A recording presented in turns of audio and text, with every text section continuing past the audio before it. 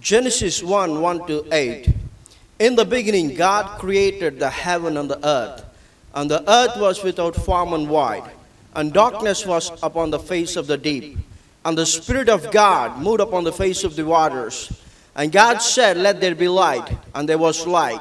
And God saw the light, that it was good. And God divided light from the darkness. And God called light day, and darkness he called night. And the evening and the morning were the first day.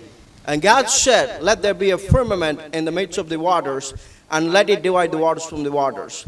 And God made the firmament, and divided the waters which were under the firmament from the waters, which were above the firmament. And it was so.